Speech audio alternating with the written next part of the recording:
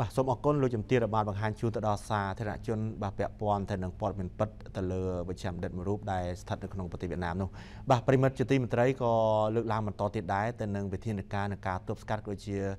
ការគិតគូរយ៉ាងខ្ពង់ខ្ពស់តែម្ដងពីសំណាក់ប្រមុខរាជរដ្ឋាភិបាលកម្ពុជារបស់យើងសម្ដេចនាយកហ៊ុនសែនបាទទៅលើបញ្ហា COVID-19 ដោយសម្ដេចគឺបានអះអាងហើយថាបាទដើម្បីប្រែคลายការប្រឈមនឹងវិបត្តិចំពោះមុខឲ្យទៅជាកលានុវត្តភាព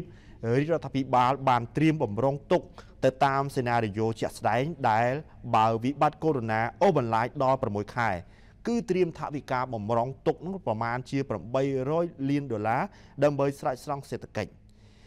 នៅក្នុងពិធីប្រកាសសញ្ញាបត្រជូនទៅដល់និស្សិតវិទ្យាស្ថានវណ្ណដាដែលមានចំនួនជាង3000នាក់នៅឯមជ្ឈមណ្ឌលកោះពេជ្រនៅវេលាព្រឹកថ្ងៃទី10ខែមីនាឆ្នាំ2020នេះសម្ដេចអគ្គមហាសេនាបតីនាយកហ៊ុនសែននាយករដ្ឋមន្ត្រីនៃព្រះរាជាណាចក្រកម្ពុជាសម្ដេចបានបញ្ជាក់ឲ្យថាបើវិបត្តិកូវីដ -19 ឬយើងហៅថា COVID-19 នេះអូសបន្លាយអស់រយៈពេលដល់ទៅ6ខែឬក៏ទៅដល់1ឆ្នាំនោះរាជរដ្ឋាភិបាលកម្ពុជាបានត្រៀមថវិកាប្រមាណ800លានដុល្លារ ទៅ2000លានដុល្លារដើម្បីស្រោចស្រង់សេដ្ឋកិច្ចដែលវាប៉ះពាល់ដោយវិបត្តិនេះហើយបច្ចុប្បន្នបានត្រៀមចំនួន30លានដុល្លាររួចទៅហើយសម្រាប់ដោះស្រាយនៅចំពោះមុខទៅលើវិស័យសុខាភិបាលតែខ្លាយការប្រឈមលើបញ្ហាសេដ្ឋកិច្ចឲ្យទៅជាកលានុវត្តភាព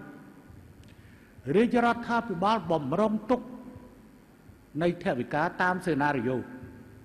ទី1ឬទី2 បើទី1គឺត្រៀមបំរុងប្រមាណជាជិត800លានដុល្លារអាហ្នឹងបើសិនជាចេញអាសេណារីយ៉ូវិបត្តិគេថាវិបត្តិអូសបន្លាយ6ខែ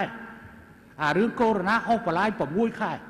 គឺត្រៀមបំរុងថវិកាប្រមាណ800លានដើម្បីស្រោចស្រង់សេដ្ឋកិច្ចហើយបើវាទៅដល់មួយឆ្នាំ យើងក៏បានប៉ាន់ស្មានថាបើ6ខែតើវាធ្លាក់សេដ្ឋកិច្ចធ្លាក់កម្ដៅប៉ុណ្ណាផលប៉ះពាល់វាធំប៉ុណ្ណាហើយបាត់បង់ចំណូលប៉ុណ្ណាប្រសិនបើវាកើតដល់មួយឆ្នាំ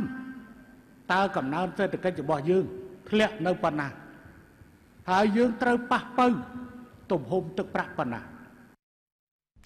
បាទទោះជាយ៉ាងណាក៏ដោយសម្ដេចតេជោក៏បានមានប្រសាសន៍ដោយមានជំនឿថាពិភពលោកនឹងខិតខំដោះស្រាយនៅបញ្ហានេះពីព្រោះថាដោយសារតែវិបត្តិកូវីដ -19 ឬក៏ COVID-19 នេះកិច្ចប្រជុំធំធំនានាលើពិភពលោកត្រូវបានផ្អាកសូម្បីកិច្ចប្រជុំបណ្ដាប្រធាននាយកភាសាបារាំងនៅឯប្រទេសបារាំងនាពេលខាងមុខក៏នឹងត្រូវផ្អាកផងដែរ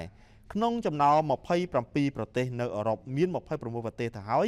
ដែលមិនអនុញ្ញាតឲ្យមន្ត្រីរបស់ខ្លួនបានចាក់ចេញពីប្រទេសដូច្នេះវិបត្តិកូវីដ -19 នេះបើសិនជាវាអូបន្លាយសូម្បីតែការប្រជុំអាស៊ាន ការប្រជុំឡានឆាងមេគង្គ CLMV នៅវៀងច័ន្ទនាសប្តាហ៍ក្រោយក៏ស្ថិតក្នុងភាពស្ទាក់ស្ទើរនៅឡើយដែរ។